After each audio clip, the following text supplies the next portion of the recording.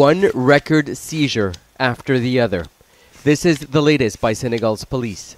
These black notes are fake money worth 5 billion CFA francs, or the equivalent of about $8 million, found in the back of a car parked at a small guest house in Senegal's southern region of Casamance.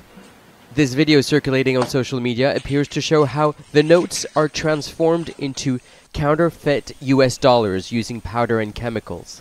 Four men have been arrested, two of them foreigners.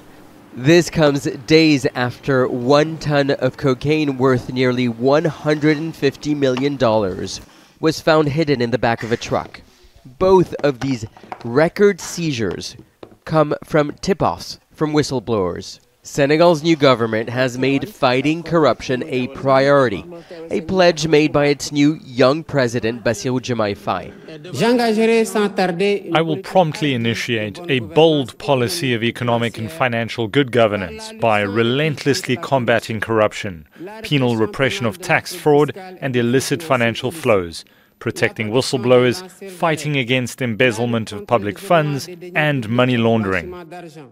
Before the elections, Faye and now Prime Minister Ousmane Sonko were sent to prison after they denounced state corruption and the criminal activities of previous government officials.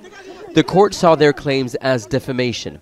Faye and Sonko want to introduce a new law to protect whistleblowers. There is a culture of fear. No one really wants to denounce illegal activities because it's not easy given the reprisals. So, to have a law that can protect whistleblowers, it can encourage others to break their silence and reveal crimes.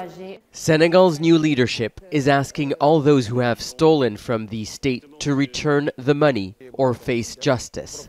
Custom officials, as well as government authorities who were once accused of being corrupt or ignoring crime, now appear eager to show they are doing their work for a Senegalese public that wants to see an end to impunity.